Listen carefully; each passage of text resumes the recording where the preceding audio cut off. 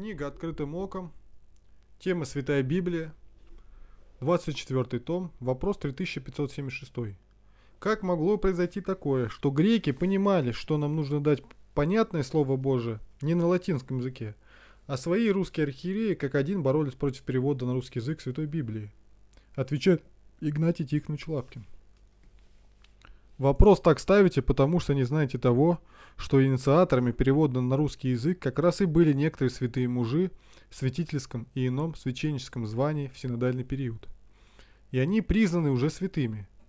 Ясно, что если они святые, то за что же их все же назначили быть святыми? И не со временем же канонизации они святые, а со дня смерти, или вернее, в самой своей жизни. Кто принимал участие? Кавычки открыты. Митрополит Филарет, петербургский митрополит, с 1856 года по 1860 год Григорий Постников, с 1860 Исидор Никольский. От Синода перевод доставляли в Москву митрополит, митрополиту Филарету, который вычитывал и проверял все, все переводы. С замечаниями московского святителя он возвращался обратно в Синод. Митрополит Филарет лично просмотрев и отредактировал весь перевод Нового Завета – Близ, близкие к нему в это время люди вспоминали, что святитель работал над присланными к нему переводами порой по 11 часов в день. Торопился успеть. Филарет указывал, что главным требованием к переводу должна быть его ясность.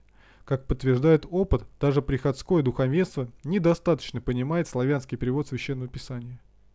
Работа шла настолько активно и интенсивно, что уже в 1860 году по благословению Священного Синода – было издано четверо Евангелия и в 1862 году остальные книги Нового Завета. Параллельно началась работа по переводу Ветхого Завета. Первые предварительные переводы ветхозаветных книг были опубликованы в периодических церковных журналах уже в 1861 годах. Переводы печатались в христианском чтении, трудах Киевской духовной академии, православном обозрении.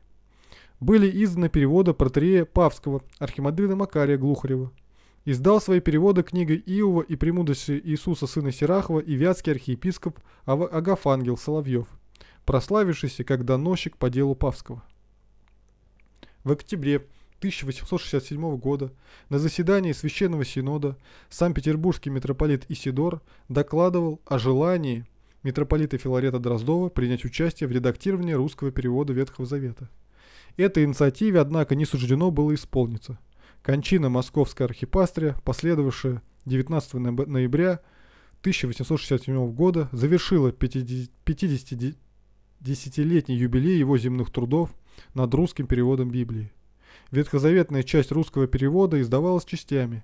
В 1868 году вышло пятикнижие, в 1869 исторические книги, в 1872 учительные книги, в 1875 исторические, э, пророческие. В 1876 годах по благословению святейшего правительствующего синода был издан полный русский перевод Библии. Авторизированный высшей церковной властью Русской Православной Церкви, он получил всеобщую известность как синодальный.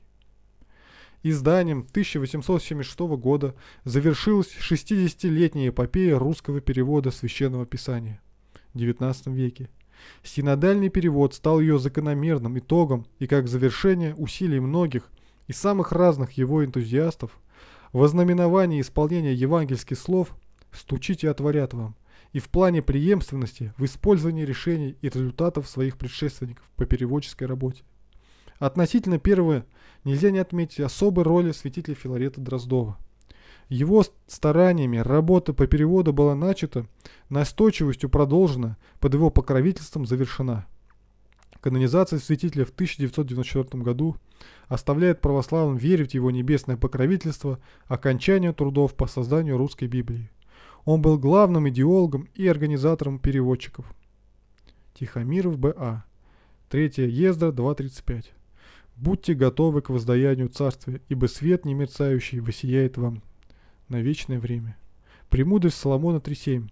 Во время воздаяния им они высияют, как искры, искры, бегущие по стеблю. Стихотворение. Какой порядок не затей, но если он в руках бессовестных людей, они всегда найдут уловку. чтобы сделать там, где им захочется, сноровку. В овечьей старости у льва просился волк, старанием кумушкой лисицы, словцо о нем замолвено у львицы, но так, как о волках худой, на свете толк. И не сказали бы, что смотрит лев на лицы, то велено звериный весь народ созвать на общий сход и расспросить того другого, что в волке доброго он знает иль худого. Исполнен и приказ, все звери созваны.